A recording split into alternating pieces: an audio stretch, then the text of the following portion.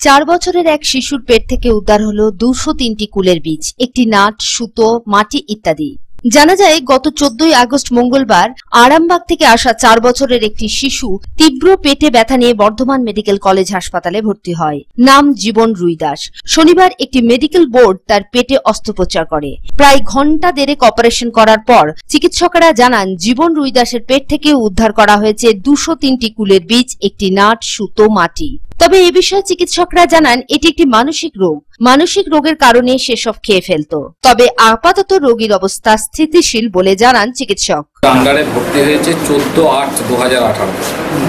আউটডোরে প্রথম আমি বাচ্চাটাকে দেখি, ওর বাবা, মা দুজনেই বলে যে বাচ্চাটার পেটে ব্যথা হচ্ছে এবং আমাকে বলেছিল যে ও পাথরের টুকরো এরকম কিছু খেয়েছে।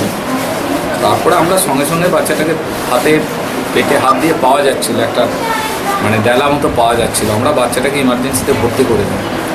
তারপরে কিছু আরও পরীক্ষা নিরীক্ষা করা হয়। পরীক্ষা নিরীক্ষাতে কুলের বিচি তো পরে অতীতে পেলাম, ওগুলো তো মানে এক্স রেতে ওগুলো বোঝা যায়নি। একটা নাট পাওয়া গেছে। আজকে তো অপারেশন করা হয়েছে। আপনারা দেখুন, এই অপারেশন করে গুনে দেখা যাচ্ছে দুশো তিনটে মানে কুলের বিচি আর সঙ্গে একটা নাট এবং আরও কিছু মাটি কাপড়ের টুকরো এগুলো পাওয়া গেছে। এমনি আমার নিজের মনে হয় বাচ্চাটা একটু মানসিক দিক থেকে মেন্টালি একটু রিটায়ার্ডের বাচ্চা। নইলে এরকমভাবে আর এতগুলো ফুলের পিছি কোথায় থেকে পেল আমি আর জানি না। তো আশা করা যায় ঠিক হয়ে যাবে রিকভারি করে যাবে। জীবনের মা জানান বছর তিনেক ধরেই তার নানা অসুবিধা হতো তবে তারা বুঝতে পারেননি। বছর তিনে মানে বুঝতে পারেনি। বছর তিনে বুঝতে পারেননি? কি কি খেয়েছিল? কি কি খেয়েছিল? নাট একটা ফুল বিচা খেয়ে ব্যথা কবে উঠেছিল? আমরা বলতে পারিনি ব্যথা হচ্ছে বলে। মানে আমরা দেখতাম পেটে হাত দিয়ে ডান হাতটা দিকে শক্ত আর কেমন গজ গজ করতো।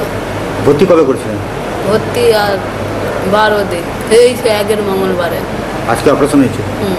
অপারেশন কি সাকসেস বর্ধমান থেকে আমজাদ আলী শেখের রিপোর্ট পাবলিক টাইমস।